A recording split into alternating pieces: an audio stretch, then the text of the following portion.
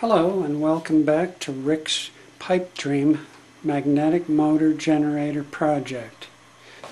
Uh, something that I didn't mention before is the fact that uh, in order to get rotation uh, with, with the magnet, with the stator magnet held in this position, like we did before, uh, it has to interact with the rotor magnets in a certain way, like this, to cause rotation.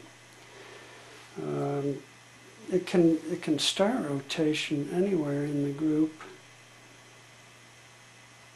You see, except at the very start of the group.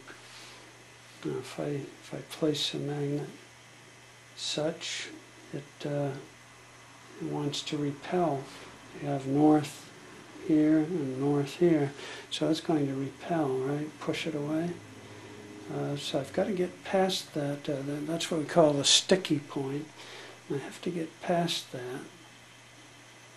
Right in here, right about where this north pole will be over this magnet, and the south pole will be over the north. Uh, and that's where the rotation wants to begin, you see? If I let go of the wheel, it wants to begin. But here, no, that's no good. I have to start here. Hmm. Now, this does cause a, a problem in that it slows down rotation when we have it in this mode and that's why we had to raise the stator before to, uh, to get it to work. But now that we have the north-south, north-south facing arrangement, it's going to be a different story. Uh, because I'll have the hard drive magnet in this position uh, going across the wheel. Now watch what happens. The south face of the magnet will be working in conjunction with the north face of the rotor magnet group. The south is going to pull it in with no problem. I'm going to show that to you again. The south face draws the group in.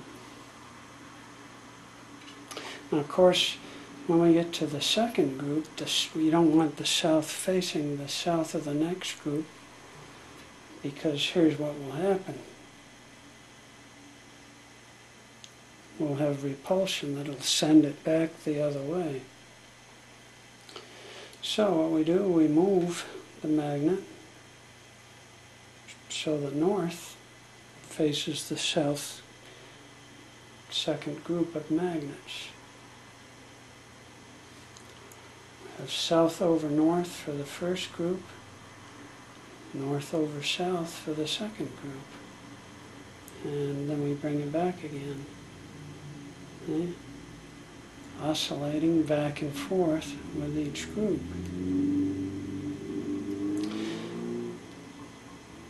Now another thing that's going to help, if we can time this properly, the um, south group picks up here over the north, propelling it forward.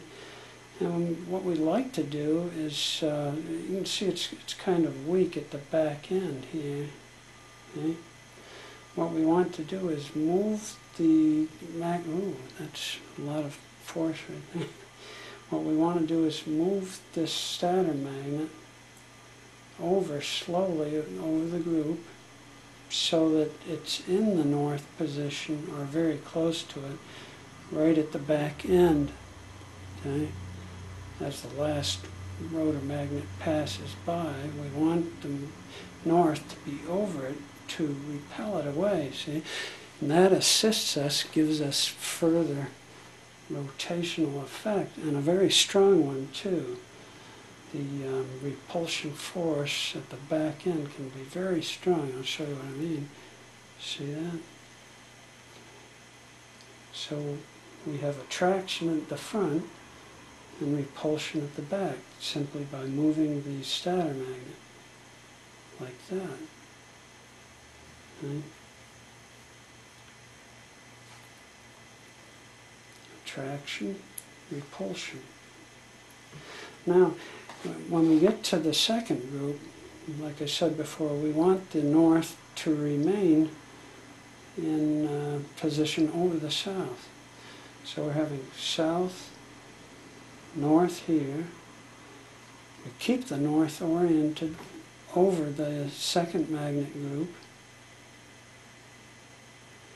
and slowly bring it back to south at the end. See, to get that repulsion effect again. Now the south is already lined up for the north of the next group. And uh, we're, should be moving this slowly across the group, very slowly, so that we're having the north giving a repulsion effect at the back end, and north is drawing in the next group, say the south, the south-facing group. And bringing it back to the south again at that end, with the south aligned for the next group. So, you you have to be very careful in holding this in your hand because, uh, like I say, you reach that point of no return where you just can't keep things going. Um, that magnet's just going to want to slam down onto the wheel or slam down onto uh, one of the rotor magnets. I've got my fingers underneath of it so I, so I don't damage the uh, the rotor magnets, but uh, that can hurt too when your when your hand slams down here when you're in a traction mode. Uh, have a north over the south. See, it wants to. I've got to use quite a bit of force to keep that from slamming down. And it's hard to pull that away. so, like I say again, we want north, south, south, north, north, south, south, north, north, south, south, north, north, south, south, north.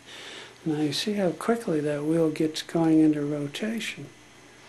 And it'll continue to accelerate as long as we can keep that uh, timing uh, perfect in that very mode of timing. This wheel is going to accelerate and continue to accelerate. Of course, there'll be some point where it can't accelerate any further. But um, I have a feeling that if I can time this perfectly, it's going to go pretty fast. Uh, as you can see, it was already spinning quickly.